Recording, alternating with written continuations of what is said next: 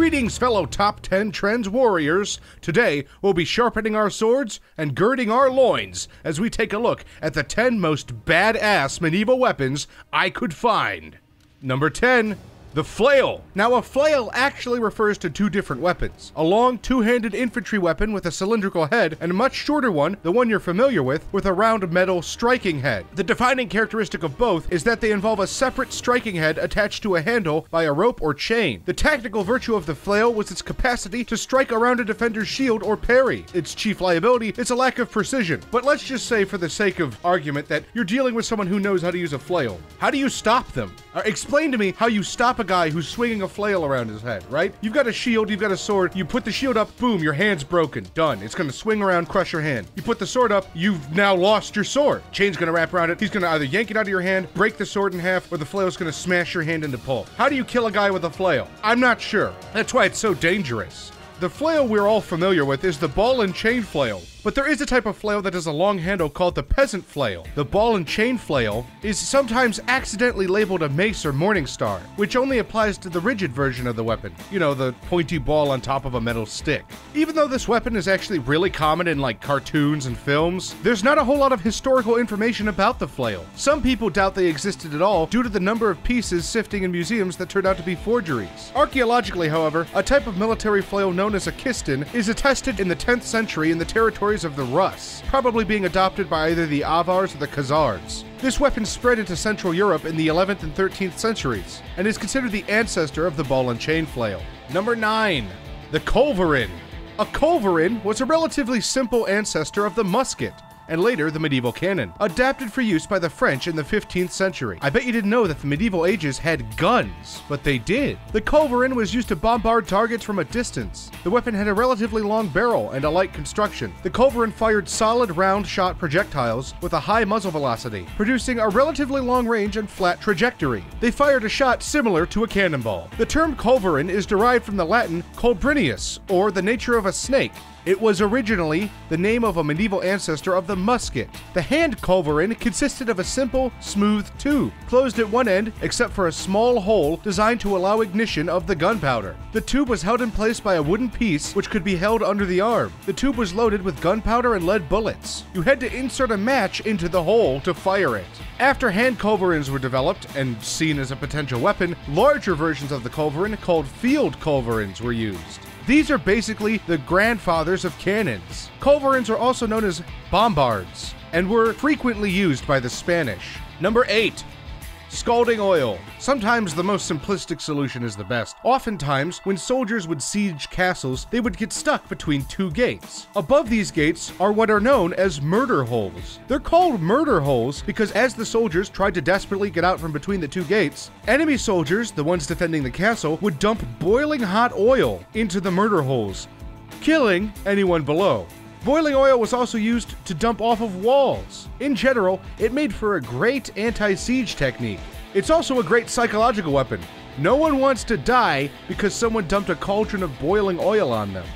I'd rather just get cut in half with a sword, or stabbed in the face, thanks. Outside of sieges, boiling oil was used to light entire towns and villages on fire. Oftentimes, these were used against enemy structures and the territory. Sometimes personnel, like I said, during a siege, but usually against towns themselves. Large tracts of land, towns, and villages were frequently ignited as part of a scorched earth strategy. But yeah, boiling oil.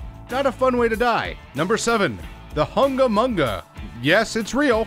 The Hungamunga, or the Mambele, is a form of knife in mid to South Africa, but was originally a curved throwing dagger used by the Mangbetu. It consists of an iron blade with a curved back section and a rearward spike. It can be used in close combat as a hatchet or dagger, or more typically thrown. The weapon usually consists of the weapon usually consists of four blades, three on top and one on the side. The curved hook was used to keep the weapon in the victim, and if pulled out, caused further damage. These are about 22 inches in length. These African iron weapons were thrown in a rotary motion to inflict deep wounds with their projecting blades. There's no way to catch it once it's been thrown, kinda like a boomerang. It just spins and its blade in all direction, so if it hits you, it's gonna hurt. These knives reflect the culture of Africa before colonization, both through their design and use. They can be symmetrical, bulbous, or even multi-pronged. Many are made of rarer and softer materials. These were harder to forge and were a status symbol to their owners, like a gold AK. Number 6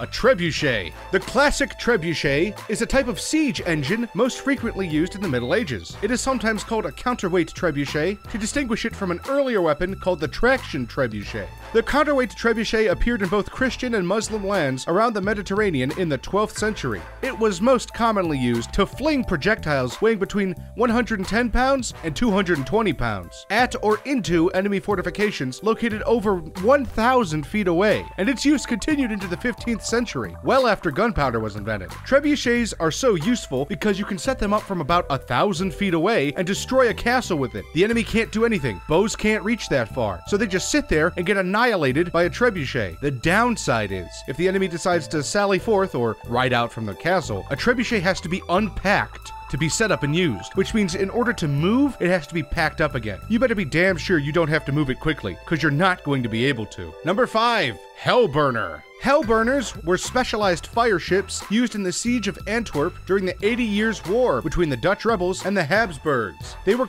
they were floating bombs also called Antwerp Fire, and did immense damage to the Spanish besiegers. Hellburners have been described as an early form of weapons of mass destruction. The events of Antwerp gave the Hellburners an immediate notoriety. The concept generated enormous interest with military experts all over Europe. The fire ships sent against the Spanish Armada on the 7th of August in 1588 were taken to be Hellburners because because instead of being small typical fire ships, they were eight massive warships that were being sacrificed for the attack. They actually weren't as deadly as a regular fire ship, but they were successful in breaking the fleet's formation and their morale, their mistaken identity contributing to the panic. Number 4. A man catcher. A man catcher is an esoteric type of pole weapon that was used in Europe as late as the 18th century. It consisted of a pole mounted with a two pronged head. Each prong was semicircular in shape with a spring-loaded door on the front. This created an effective valve that would allow the ring to pass around a man-sized cylinder and keep it trapped. The man catcher was used primarily to pull a person from a horse and drag them to the ground where they could be helplessly pinned. This is one of the very few examples of non-lethal polearms. Man-catchers played a role in the medieval custom of capturing noble opponents for ransom. This design assumes that the captured person wears armor to protect them against the metal prongs, which could easily hurt the neck of a person without armor. The man-catcher was also used to trap and contain violent prisoners. Number 3. The Chinese Repeating Crossbow. The repeating crossbow, also known as the Zhuge crossbow, due to the design upgrade contributed by the Three Kingdoms era strategist Zhuge Liang in 200 AD, is an ancient Chinese crossbow, where the separate actions of the stringing the bow, placing the bolt, and shooting it can be accomplished with a simple one-handed movement while keeping the crossbow stationary. This allows a much higher rate of fire than a normal crossbow. There's a mounted magazine containing a reservoir of bolts that are fed by gravity, and the mechanism is worked by simply moving a rectangular lever forward and backward. Repeating crossbows date back all the way to 200 AD. However, repeating crossbows were introduced into Korea in the 1400s, so they were still being used for quite a long time. Number 2. Lantern Shield. This Dark Souls looking device is a small shield combined with a lantern used during the Italian Renaissance, especially for nighttime duels. A number of them survived. Their defining feature is a small circular shield, a buckler, combined with a lantern or a hook from which to hang a lantern, intended to blind the opponent at night or in duels fought at dawn. Some more elaborate examples incorporate gauntlets, spikes, sword blades, and a mechanism to darken or release the light of the lantern. This weapon, however, wasn't really used for soldiers. It was more used by town guards and individual duelists who would keep watch at night or fight during night. And number one, the number one favorite, most badass medieval weapon is Greek fire and the many iterations of it. Now, original Greek fire is obviously from before the medieval ages, but Greek fire would be passed down over and over again, and even though true Greek fire was lost, many similar recipes were made. So, Greek fire, what does it do? Well, you light it on fire, and you're now burning like napalm. It can't be put out, and it'll burn for a couple hours, so you're pretty much dead. Now, Greek fire's bad, but it kinda sounds like boiling oil, right? I mean, you have to dump it on someone. Wrong! Greek fire was often used in combination with ancient pumps called siphons, which would spray Greek fire over 40 feet.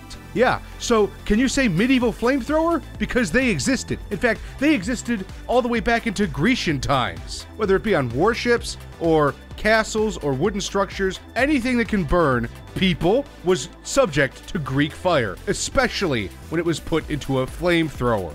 Well, gang, I hoped you enjoyed the video. If you did like the video, give it a like down below. And if you want to see more content, subscribe.